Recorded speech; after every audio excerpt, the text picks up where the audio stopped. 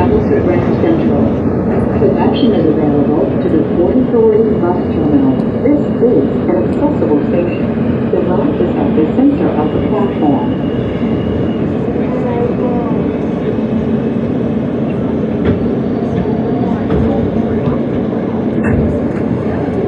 This is a Queens-bound E-train. The next stop is 50th Street. Stand clear of the closing.